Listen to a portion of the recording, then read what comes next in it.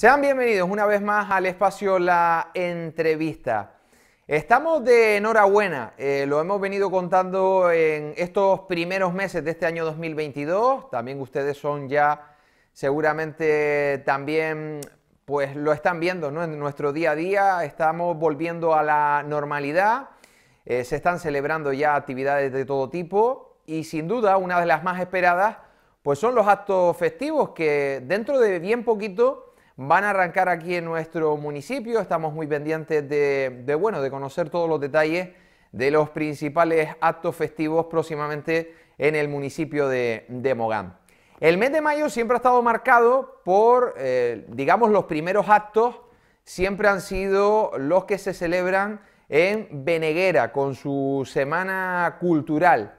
Y lo contaba con la persona a la cual vamos a saludar ya a continuación, que aunque estamos diciendo que hace dos años que no tenemos fiestas son exactamente tres, porque fue en el año 2019 cuando tuvimos, como digo, esa normalidad que ahora estamos recuperando.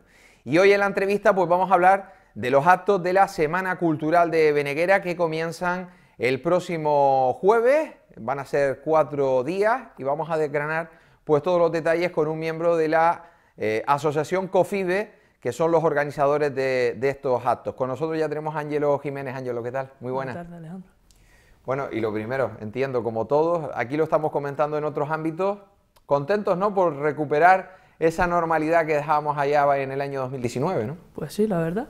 Poco a poco vamos a ir volviendo toda la normalidad y recuperar los actos de la mejor manera que se pueda.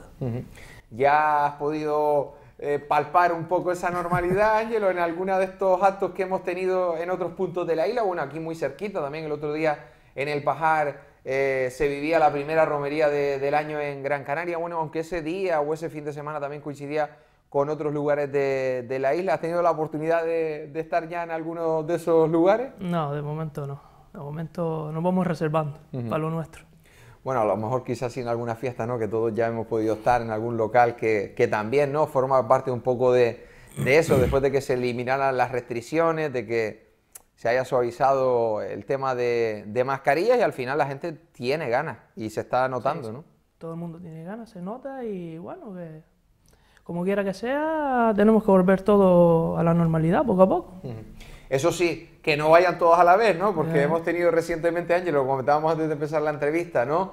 Eh, una verbena en Moya, donde pues se tuvo que suspender precisamente porque era un recinto acotado para, un aforo determinado y, al final a la organización pues se le fue un poco de las manos. Por eso mismo, por las ganas que tiene la gente de acudir a estos lugares. Exacto. Todo el mundo tiene ganas de fiesta y cuando se hacen las cosas así un poquito acotadas, pues pasa lo que pasa, pasó lo que pasó y bueno, que vamos a ver si dentro de lo que cabe todo va saliendo bien aquí por la zona. Yo creo que eso es un aviso ¿no? para, para los organizadores, para tener en cuenta este tipo de cosas y para que al final las cosas no se salgan del madre. Oye, Ángelo, em, antes de desgranar, que hemos venido a hablar de, los actos que comienzan este próximo jueves, sí un poco preguntarte por, por COFIDE, por los miembros de, de la asociación, cómo han sido estos tres años de espera eh, bueno, que yo he comentado más de una ocasión también que para gente como, como asociaciones como ustedes y otros tantos, que al final estar en este tipo de asociaciones no es fácil porque uno tiene que dar tiempo de otras cosas para dedicárselo a esto. Eh, al final el parón ha sido positivo, negativo, eh, bueno. Bueno, positivo por así decir, porque vamos trabajando, aunque estuviéramos todo el tiempo parados, hemos trabajado y intentando sacar ideas de la mejor manera posible y para cuando llegara el momento, pues ir teniendo una fiesta bien. Sí, hay que destacar que en Beneguera son de los lugares en donde tenemos Semana Cultural, que siempre se, se enmarca en mayo, y luego tenemos, luego posteriormente, en agosto, las fiestas, ¿no? Exacto, sí. Que bueno, que ya habrá tiempo de, llegar a agosto, de por medio todo un verano, habrá tiempo de, comentar todo eso. Pero bueno, ahí siguen, ¿no, Ángelo? Los mismos miembros que, que, estuvieron en el año 2019. Sí, ahí estamos todos. Ahí siguen, con, ganas e ilusión. Oye, ganas en el pueblo también, ¿no? de, que, de que por fin se pueda volver un poquito ahí a, lo de antes, ¿no? Sí, sí, sí. Oye, cuatro días. Eh, te preguntaba también antes que, hombre, su mismo nombre lo indica, ¿no? Semana Cultural de, de BNR. Siempre una semana en la que hay tiempo para todo, para actividades para los más pequeños, para charlas, para, bueno, para un poquito todo. Este año han querido pues condensarlo en cuatro días. ¿no? Sí, lo condensemos en cuatro días para sea todo un poquito más intenso y bueno, dentro de lo que cabe creo que hemos sacado actividades para adultos y niños, que es lo que se trata y hacerlo lo mejor posible. Mm. Y una novedad de la cual hablaremos luego porque es el último, el último día. Antes, pues como, como, comentaba, pues tiempo también para aprender algunas cositas, ¿no? El jueves vamos a comenzar con una charla, ¿no? Sí, el jueves vamos a empezar con una charla de nutrición saludable que nos la dará Oriano Ojeda. Y bueno, pues de la mejor manera, a ver si nos indica unos buenos hábitos de alimentación. Eso será el jueves día, día 12 con Orgiano, el bueno, casi vecino, ¿no? Porque lo tienen también por ahí dando alguna actividad que, que yo me entero a, veces de, de, las cosas. Y bueno, aprovechar a esta gente también cercana que siempre pues, pues puede sumar, ¿no? Y, puede, y entre todos podemos aprender algo, ¿no? Exacto, eso se trata. Y bueno, luego al siguiente día tenemos una, una actividad bastante intensa, es el día también importante de, de esta semana cultural, sobre todo en cuanto a tradición se refiere, Ángelo. Exacto, sí, el día de la patrona del pueblo, de la Virgen de Fátima, y empezaremos ahí con un acto de muestra folclórica y después ya seguido de la misa y la procesión. Creo que, que, hay algo especial ¿no? para ese día también con los más pequeños, ¿no? con las escuelas artísticas municipales, ¿no? con, con folclore de por medio. Exacto, sí. O sea que ese día va, a comenzar, digamos, con, con tradición también y luego esa procesión que siempre suele, suele ser bastante eh, pues seguida, ¿no? Por gente no solamente de Beneguera, sino de otros lugares del municipio. Sí, de otros lugares del municipio. Aunque en los últimos años sí que es verdad que esto sí se ha podido desarrollar, quizás no tanto con, bueno, no, no las procesiones que creo que estaban detenidas, pero sí que es verdad que, que también nosotros hemos participado en algunas de estas misas para que la gente que no se pudiera acercar a la iglesia eh, la pudiera ver desde casa. Afortunadamente, pues ahora sí que van a poderse acercar y también seguro que se espera que sea bastante eh, seguida por la gente y que acuda a bastantes personas. Exacto. Bueno, eso será para, para, el viernes. Luego para el sábado, ¿qué tenemos, Angelo? Para el sábado tenemos lo que sería hinchables infantiles, un día con los niños y, bueno, algo para que ellos también disfruten de un día especial para ellos. Claro que sí.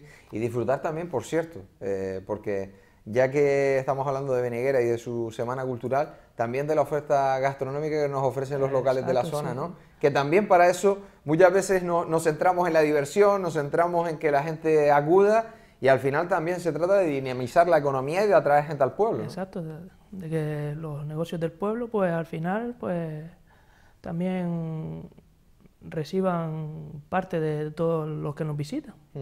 Oye, llegamos a la novedad, que quiero que tú me la comentes, que es el domingo, que me comenta por ahí que mucha gente está interesándose por, acudir, que vamos a tener para, el colofón de esta Semana Cultural.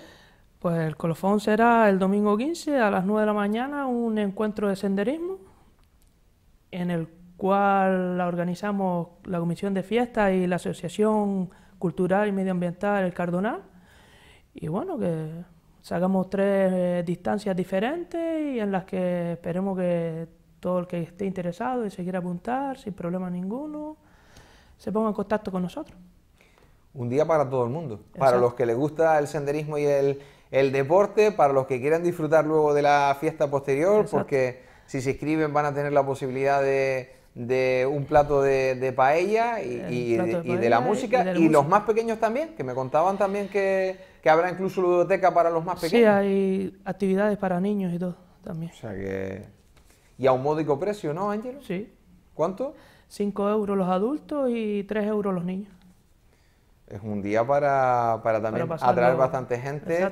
Para enseñarle también a mucha gente que no conoce estos senderos del municipio, concretamente de, de la zona de Beneguera, el otro día me decían que las redes que funcionan mucho para, para todo esto había gente interesándose desde muchos puntos de la isla y que van a acudir a Beneguera, ¿no? Sí, esperemos que más que sea cumplir, que se vea que vamos a hacer una buena organización, que todo tal y esperemos poder tener en un futuro una segunda edición.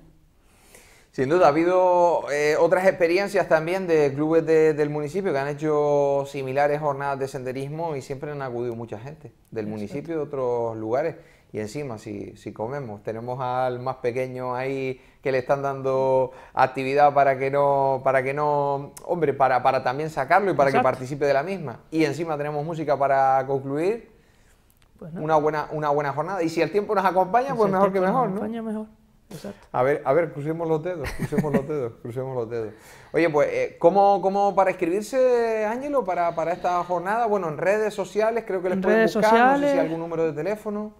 Mm, sí, en redes sociales, en la página de la Comisión de Fiesta de Beneguera, y ahí aparece todos los datos del número de teléfono de contacto, y después también en el supermercado de Beneguera y en el gimnasio municipal de Moa. O sea que todos esos lugares para toda aquella gente que, quiera acudir este próximo domingo 15 de mayo a este día de senderismo en, en Beneguera para conocer un poco parte de, esa Beneguera Trail, ¿no? de esa carrera que, transitó durante todos estos años también por estos, por estos senderos. Senderos que de todas formas me cuentan, Ángelo, tú que, que estás cerca por ahí, eh, siempre son transitados por mucha gente a lo largo del año, ¿no? Exacto, normalmente están siempre transitados por turistas que conocen mucho las rutas y vienen a hacerse sus caminatas y echarse su refrigerio en el pueblo. Eso sí, aviso para los que van, que en ocasiones también pasa, y no quiero tampoco tirar de las orejas a nadie, que cuando llevemos basura nos la llevemos, porque eh, después de, de lo más duro de la pandemia, sobre todo en esa zona de los azulejos, Aquello parecía Triana, como me decía alguien, Triana un domingo, de las personas que acudían ahí a sacarse fotos y a transitar por ahí, y luego pues aquello quedaba de aquella manera, ¿no? Sí, mucha cantidad de basura por la zona, que la gente no es consciente de que estamos dañando todo el medio ambiente y, y bueno. Oye, que no decimos que no vayan. ¿eh? No, no, está claro. Eh, incluso no es que no les digamos que no vayan, yo soy de los que digo que vayan, pero que cuiden el, el entorno. Exacto. Que cuiden el entorno. Oye, Añelo, pues eh, solo queda pues que llegue la próxima semana de disfrutar de todo, de todos estos actos y que la gente pues, pues se anime, disfrute de los mismos y que sea un poquito esa vuelta a la actividad que, tenía Benegra en tres momentos del año, ¿eh? hay que recordar, Semana Cultural, fiesta y luego Encuentro de Benegra, que este año sí que si nada cambia, todo se va a poder celebrar. Exacto, esperemos que todo siga por este cauce y que vayamos, que podamos disfrutar de todos los eventos del pueblo. Trabajando entiendo también ya para la fiesta, porque siempre esto hay que hacerlo con meses de antelación, sobre todo para cerrar eh, actuaciones y algunas cositas y, con algunas sorpresas incluso me decías, ¿no? Que ya, que ya diremos. Ya, ya habrá momento de desvelarla, ya, sorpresita. Oye, Ángelo, en lo personal todo bien, que, que también te he preguntado un poquito, trabajando, parece que el turismo vuelve también a al municipio, esto nos alegra, la gente encuentra trabajo, que también es lo necesario, y, bueno, todo bien, ¿no? Todo bien, todo bien, mm. perfecto. Pues nada, a seguir. Ángelo, eh, muchísimas gracias por, acercarte aquí, que salga todo bien y te esperamos ya de cara al próximo mes de agosto para contar todo lo que serán las fiestas de Mario Auxiliadora, ¿vale? Pues nada, fiestas de... La Virgen de Fátima. De la Virgen de Fátima. que rectificaba. ¿Sabes por qué me venía auxiliadora? Que no voy a ni a repetir ni nada por las fiestas que vienen ahora, que son las de Puerto Rico, que esas sí son María Auxiliadora. las de Beneguera son de Fátima. Queda esto también como anécdota. Ángelo, muchísimas gracias, ¿vale? Gracias a usted.